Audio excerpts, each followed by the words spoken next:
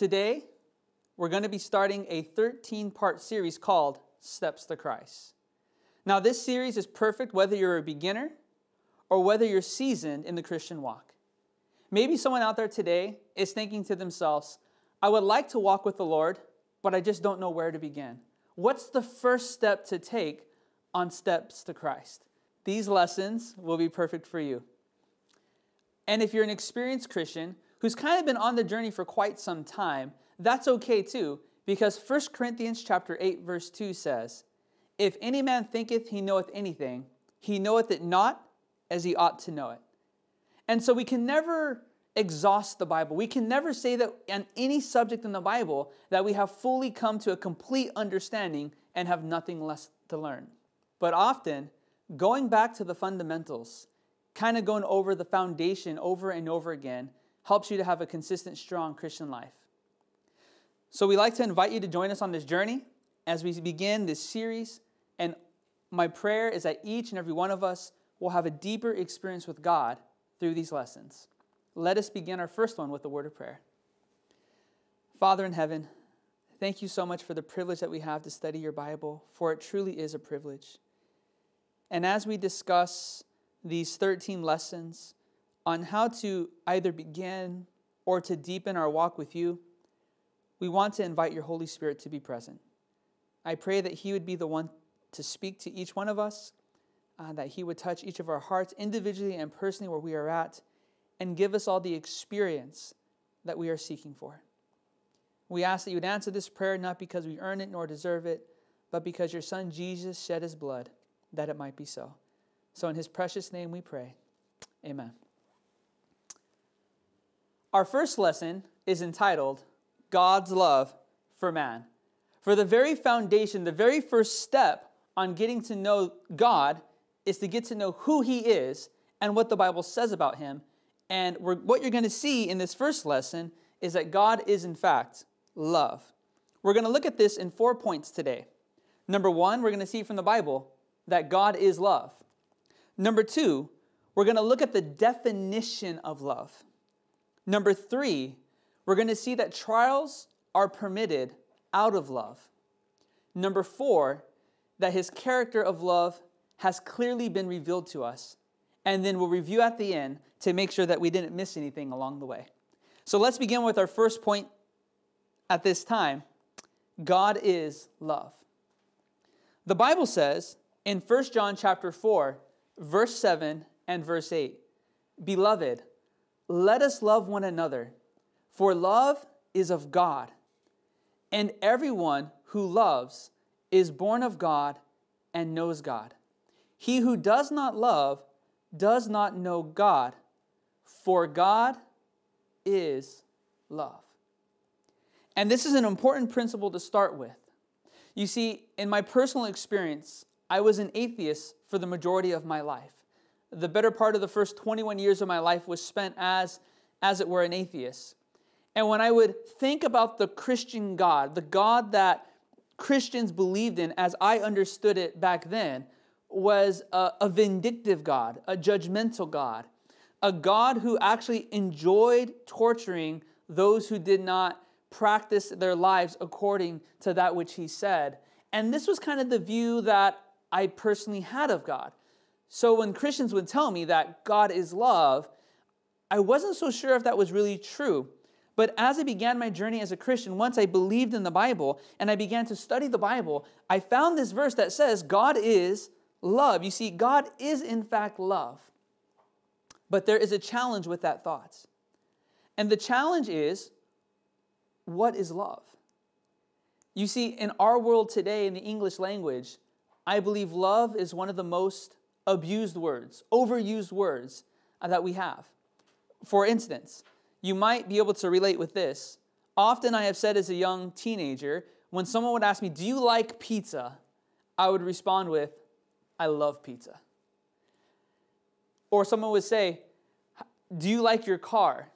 And I would tell them, I love my car. Bought my first car when I was 14 years old, and that car was literally the love of my life. I would tell people, I love my car. I rebuilt it myself. It was a precious car to me. Someone would ask me, How do you feel about your parents? I would tell them, Well, I love my parents. And someone would ask me, Well, how do you feel about your dog?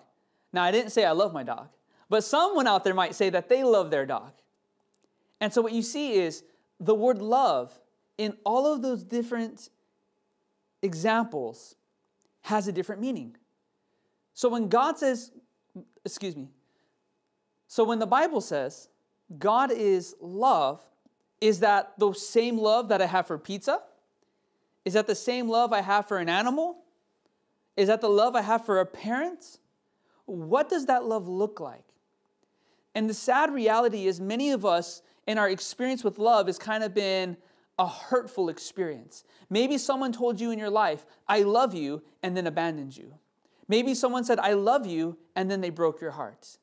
Maybe someone said, I loved you, and then they betrayed you. And the picture that you have of love is one of someone who gets close only to hurt you.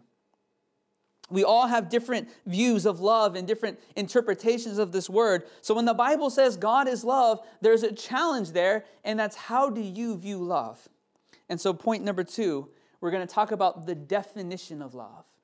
And when I say the definition of love, we're not using Webster's dictionary to define this word. We're going to let the Bible interpret itself. We're going to let the Bible explain what is love. What is this love that it is talking about? And then we can know that that's what God is saying of himself. For the Bible says, God is love.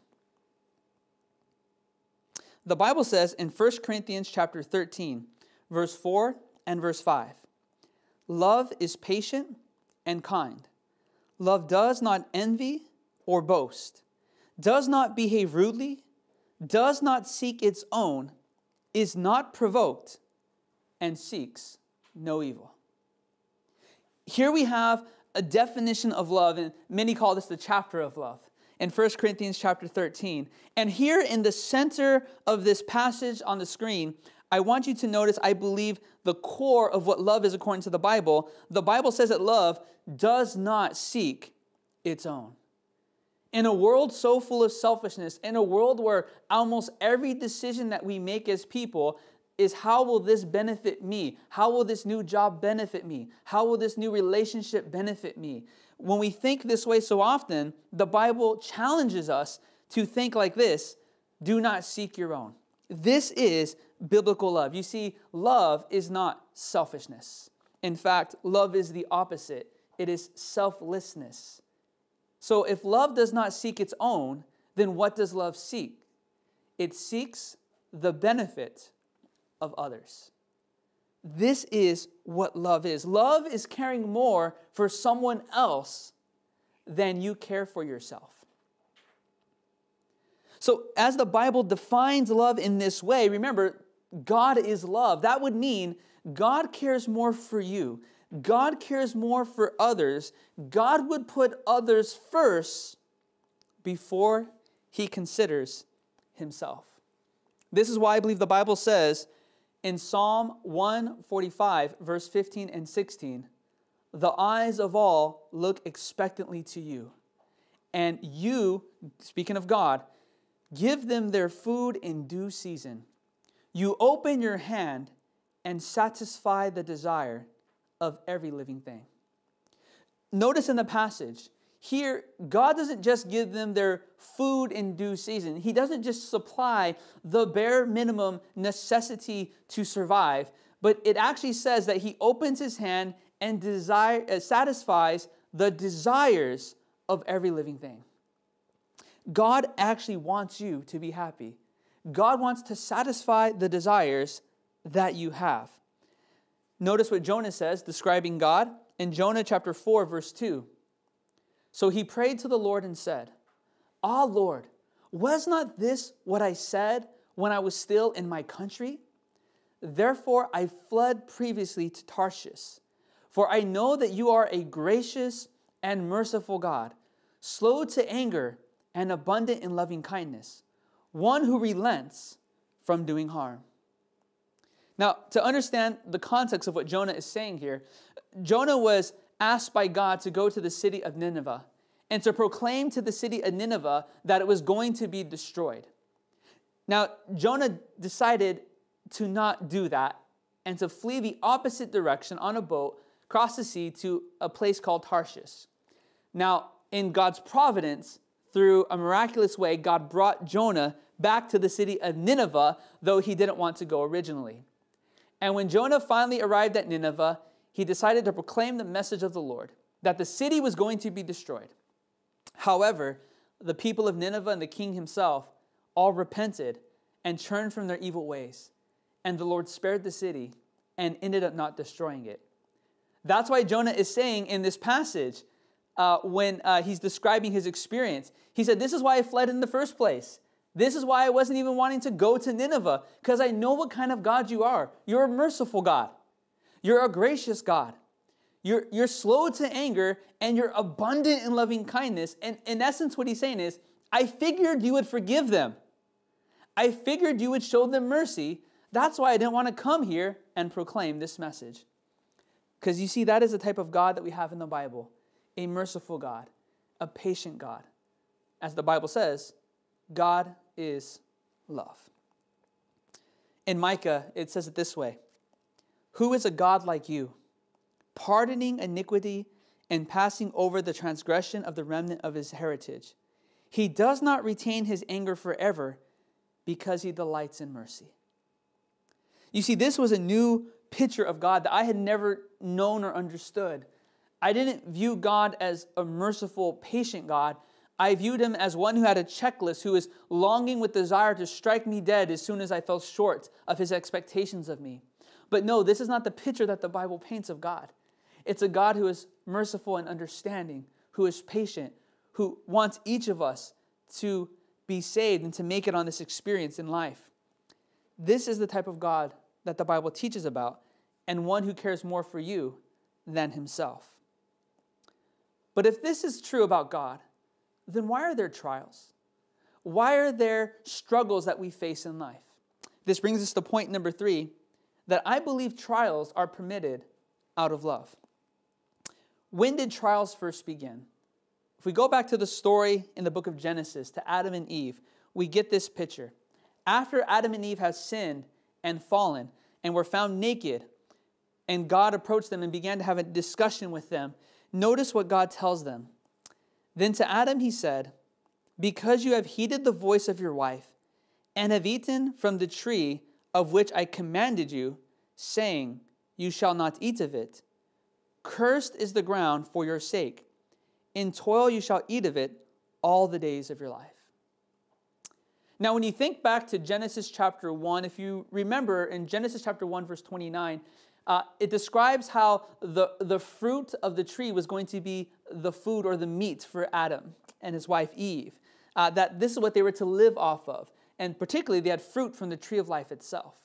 However, after sin, something changed they were now to live off not only the fruit of the trees, but also of the vegetation of the ground. And here the Bible says that the ground was going to be cursed and they would have to toil for it to get the ground to produce that which they were going to need.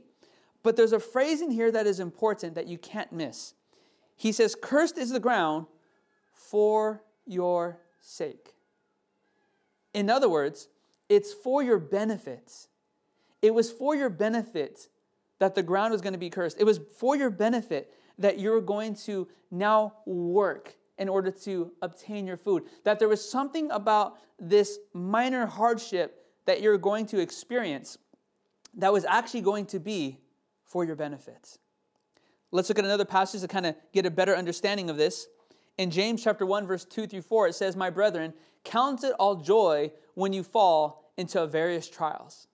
Now, if you're like me, you're probably thinking to yourself, hmm, when I go through trials, I don't start jumping up and down screaming for joy. But here the Bible says, you should count it all joy when you fall into various trials. Now, I don't believe that means that we should create our own trials and make our lives harder to find joy. However, there's a purpose in trials, there's a purpose in working through things. Verse 3, the Bible goes on to say, knowing that the testing of your faith produces patience. But let patience have its perfect work, that you may be perfect and complete, lacking nothing. You see, why should you count it joy when you fall into various trials? It doesn't mean that the trial isn't hard. it doesn't even mean that the trial is fun. In fact, I've been through many trials in my life, in my personal experience, and I don't count any of them as fun. However, when I'm in the midst of a trial and I'm going through a tough time, I can still count it joy because I know what the product of that trial will be, that the trial will form my character. It will make me a stronger Christian. It'll give me a chance to exercise my faith in God. And the trial isn't meant to break me, but the trial is actually meant to make me stronger. And now you may be thinking to yourself, but what if I can't bear the trial? What if the trials in my life are too much? You see, the beautiful thing is that will never happen. For the Bible says in 1 Corinthians chapter 10, verse 13, no temptation has overtaken you except such as is common to man. But God is faithful, who will not allow you to be tempted beyond what you are able, but with the temptation will also make the way of escape, that you may be able to bear it. Here we have a beautiful promise from God that He will never allow a temptation, He will never allow a circumstance to come into your life that will be so difficult, that will be so challenging, that you will be incapable of bearing through the trial. Now, I know at times it may feel that way, that it may feel that the trial is unbearable. But I'd like to give you an illustration that an individual gave me when I was a brand new Christian. Uh, he was a physician, and I remember he was explaining this to me, and I thought it was kind of funny. I thought to myself, well, I, I'm pretty sure I know what I can handle, and I don't think I can handle the trial I'm going through. And he said, well, think about it this way. And he, we were in his kitchen, he had, he had a knife, and he, he asked the question, could you handle someone cutting you with a knife? Well, my immediate response was, no. if you stabbed me with a knife, I couldn't handle that. That would be too much pain for me to endure. He then said something remarkable. He said, Well, what if you were going through surgery and they had to cut you up and put you back together? Could your body endure a knife? And I thought about that, and the answer was yes. And he said, See, you can endure more than you think you can. When it comes to trials in life, often some of them can feel like they are unbearable. But God promises it will never be beyond what you can handle. And then it says, with it, He will make a way of escape. There will be a, doorway to walk through to help you to get through this experience that you're going through. This is a promise that God has given us. Now, here's the beautiful thing about God in the Bible, He never asks us to do anything that He Himself is not willing to go through nor experience. It says here in Hebrews chapter 5, verse 8 and 9, speaking of Jesus, God who became flesh, though he were a son, yet learned he obedience, notice, by the things which he suffered. And being made perfect, he became the author of eternal salvation unto all them that obey him. You see, Jesus here is being described as a son who had to learn obedience. You see, he had to learn how to be obedient to the Father. He had to actually grow. And according to Luke chapter 2, verse 52, it teaches us that he actually grew, not just physically, but in wisdom and in stature and with favor with God and with man. That Jesus himself had to grow and develop, and he grew and developed by the things which he suffered. And as we seek to be like him, as we seek to follow in his footsteps, yes, there will be trials as a result of sin. Not that God ever intended it to be that way, but as a result of sin, there will be trials, there will be tribulations, there will be temptations, but God has promised that He will not only see us through it, but that as we get through it, we'll be stronger than when we first entered it. And God experiences your trials with you. Isaiah 63, verse 9 says, In all their affliction, speaking of God, He was afflicted. You see, when you are hurt, God Himself experiences pain. When we suffer, the heart of God is broken. In all of our affliction, He Himself is afflicted. And so when you go through these experiences, you can know that you're not alone. In fact, God gives a promise in the book of Hebrews. He says, I will never leave you nor forsake you. He will always be by your side, regardless of what you're going through. And not only will He enter into the experience with you, but he will always produce something good out of the experience. It says here in Romans 8 28, and we know that all things work together for good. Now, it doesn't say all things are good, but it says all things work together for good to those who love God, to those who are called according to his purpose. You see, God can take a real messed up situation and bring a powerful message out of it.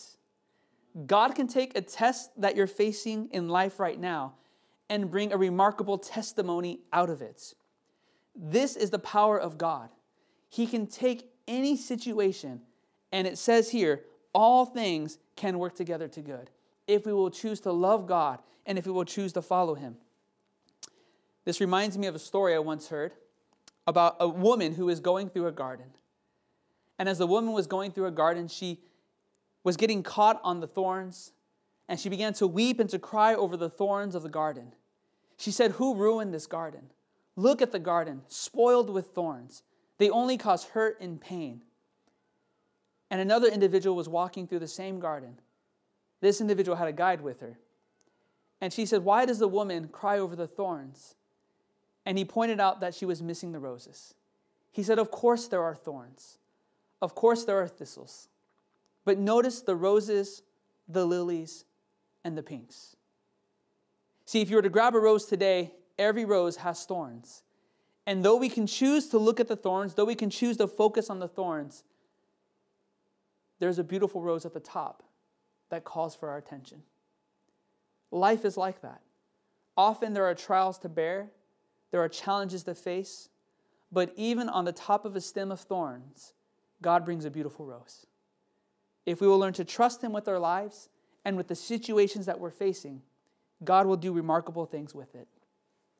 And this brings me to my fourth point that God's character of love has been clearly revealed to us. Because you may be thinking, well, how can I trust Him with my life? How can I trust Him with these situations? How can I trust Him with the challenges that I'm facing? Remember, our first point God is love. And see, in order to trust God with our life in these situations, we have to understand and believe that He really is who He claims to be, that He is love. That's why it is the first step. That is why it is the beginning of a journey on a walk with God to know that first, He is, in fact, love. So, how is His character of love clearly revealed? What evidence has He given to us that we can know that this truly is who He is? The Bible says in Matthew chapter 11, verse 27, Jesus says, All things have been delivered to me by my Father, and no one knows the Son except the Father, nor does anyone know the Father except the Son, and the one to whom the Son wills to reveal him. Here, Jesus is saying, No one knows the Father except the Son, and no one will understand and know the Father unless it is the will of the Son to reveal the Father to that individual. So, the only way we can truly know the Father is through the Son. So, one day, one of Jesus' disciples asked him a question Show us the Father. And that makes sense, right? Because he said, I'm the only one who can show the Father. This is in John chapter 14. Notice Jesus' response.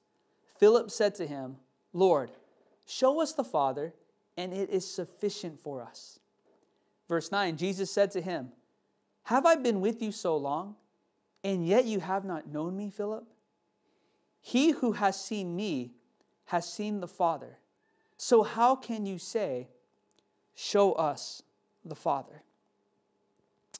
You see, Jesus says in Matthew chapter 11, the passage that we just read before, that no one can know the Father unless it is the will of the Son to reveal the Father to him. But here's the beautiful thing I believe it is the will of Jesus to reveal the Father to each and every one of us. And he says it right here plainly if you have seen me, you have seen the Father.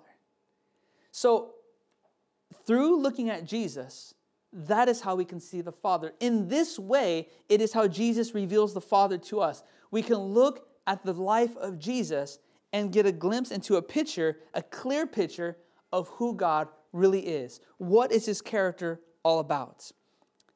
There's a text that summarizes the work of Jesus, and I like to read it. It's in Luke chapter 4, verse 18. The Bible says, Jesus says, The Spirit of the Lord is upon me, because he hath anointed me to preach the gospel to the poor. He hath sent me to heal the brokenhearted, to preach deliverance to the captives, and recovering of sight to the blind, to set at liberty them that are bruised. Here we see the work of Jesus. Now, you may be thinking to yourself, well, that sounds like a remarkable work. That sounds like a fulfilling work. But remember where Jesus came from. For that was a remarkable and fulfilling work, but it came with much sacrifice. You see, Jesus once sat upon the throne, clothed with garments of a king. He had the adoration of heaven. He walked upon streets of gold. He had perfect open communion face to face with his Father. But one day, he chose to leave all that behind. One day, he chose to take off the crown, to take off the robe, to leave the streets of gold, to leave the comforts of the life that in the existence that he had always known. Why? To preach to the poor,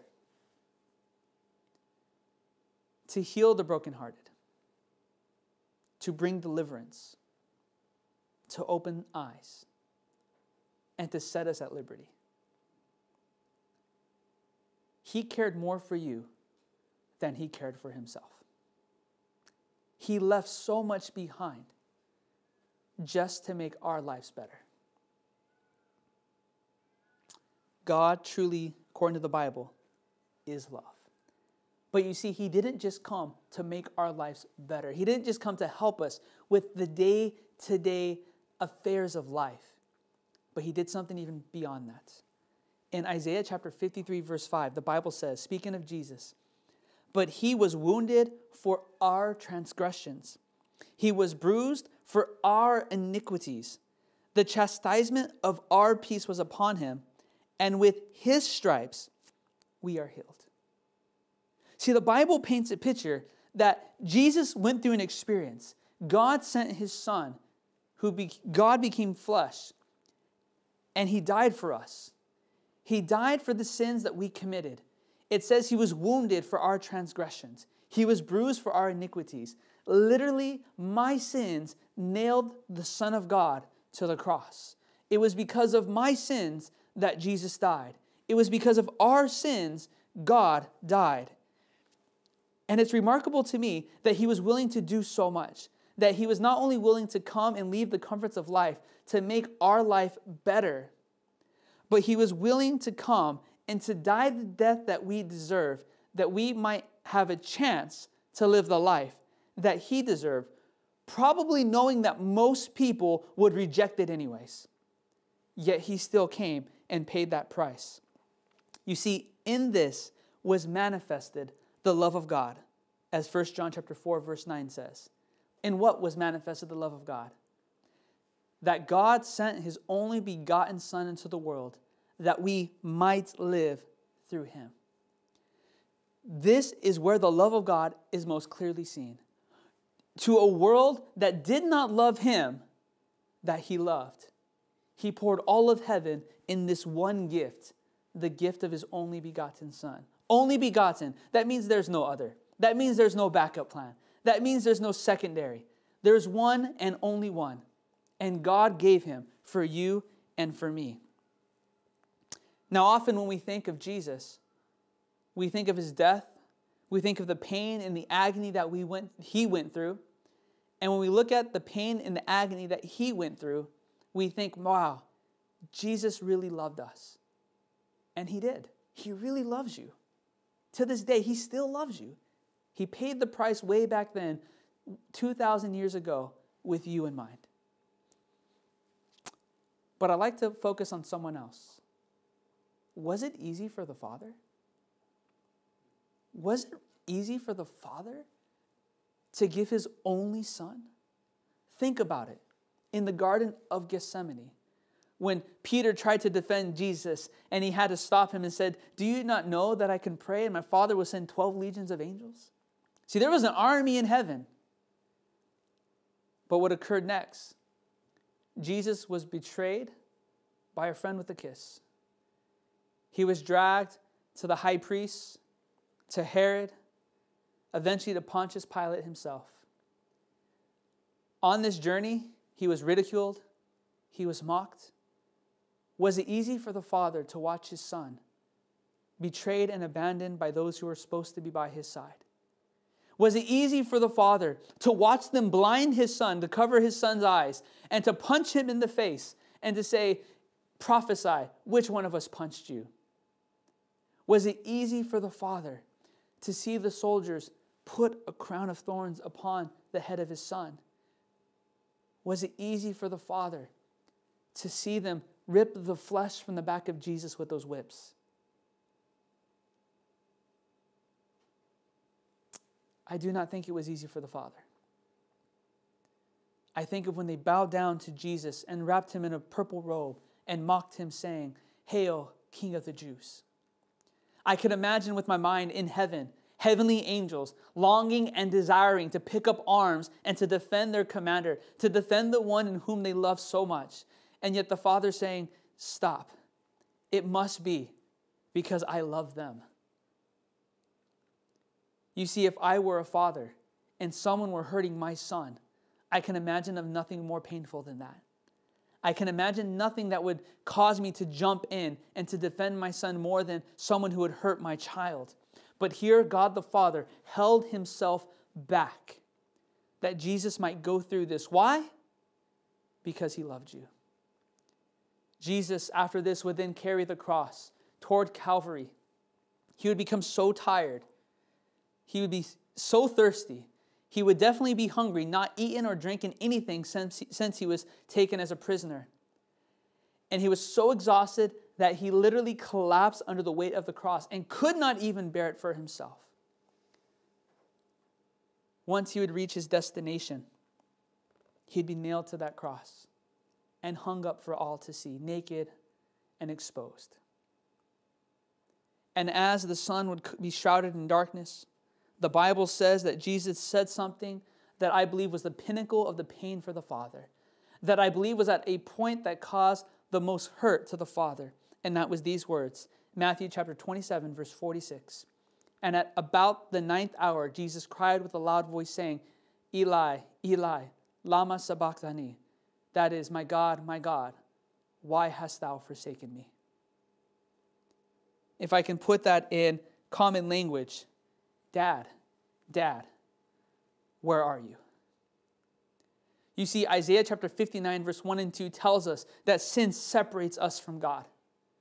And this, as Jesus put on himself the sins of the world, it would cause a separation between him and his Father in such a way that he could not sense his Father. Now we know the beautiful truth that behind the darkness of this, this wall of sin that was separating him, the Father was there with a broken heart. Imagine being a parent hearing those words Dad, Dad, where are you? Or Mom, Mom, where are you? Why have you forsaken me? I know that these words had to ring the very heart of God. And though he could have intervened, though he could have stopped the whole thing in a moment, he chose not to the Father chose to endure. The Son, Jesus himself, did not have to stay. At his own word, he could have went back to heaven, but he chose not to. Why did they refrain, though the Godhead was experiencing so much pain? It's simple because they loved you that much. For God so loved the world that he gave his only begotten Son. So when the Bible says God is love.